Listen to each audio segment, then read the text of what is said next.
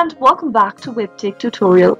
Today I'm going to be showing you how to log in to Novatech account online. Watch the video till the end and don't forget to subscribe to our channel if you've not yet.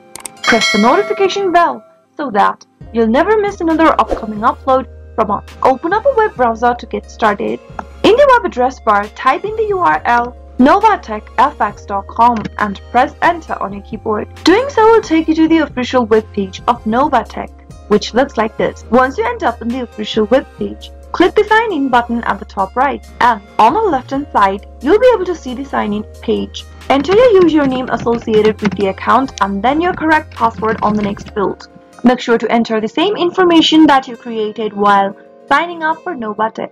If you don't remember your password or your username, Click on Forgot username or password and follow through the on-screen prompts to look for your credentials. Now enter the CAPTCHA security code right beneath and then if you'd like the system to remember you on this device, check this little box and finally click on the sign in button. But remember to uncheck this box if you're using a public or a shared device and you should be able to get access to your Novatech account right away.